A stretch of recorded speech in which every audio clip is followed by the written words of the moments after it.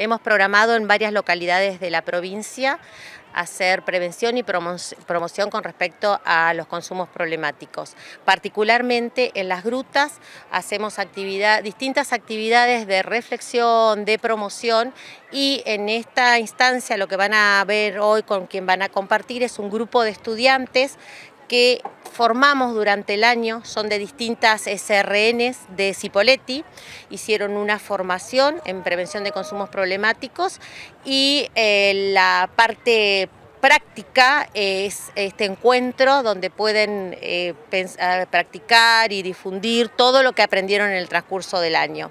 Así que la, propuesta es, en principio, eh, pensar en el cuidado propio. Ellos como, adolescentes tienen entre 14 y 18 los estudiantes que me acompañan y es pensar en eh, cuáles son los factores de protección para ellos, para sus pares y después pensando en la familia, en el resto de las instituciones. Nosotros acá vinimos a las grutas con el fin de hacer prevención y, bueno, concientizar a la gente sobre los consumos problemáticos y lo que son las adicciones.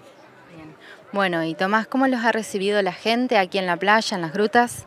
Bueno, la gente muy bien, muy amable, eh, mejor de lo que esperábamos y, y nada, la estamos pasando lindo y la gente también ayuda un poco, también te saca charla y, es muy lindo el recibimiento que tuvimos acá. ¿Es la primera vez que participan de una de estas actividades? Sí, sí, es más, eh, fuimos preparados por Dani Seba hace cuatro, cuatro meses serán.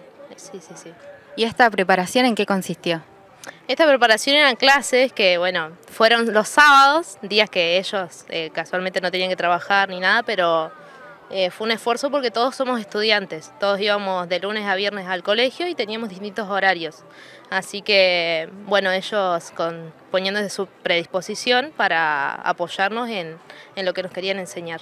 Los lentes eh, tienen distintos efectos visuales, los cuales eh, este que tengo acá simula el efecto visual de la marihuana y hay otro que simula el efecto visual de 2 grados de alcohol en sangre y y bueno, eh, la idea era que, bueno, que esto tome un poco de conciencia para ver que no se ve mucho, que se disminuye eh, la vista.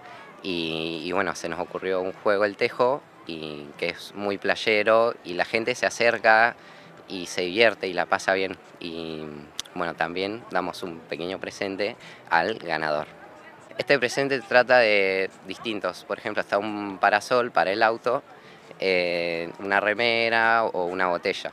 Y también hay un premio de consuelo para el que, para el que participó, que no ganó, es que es una bolsita para el auto con una, con una barrita de cereal.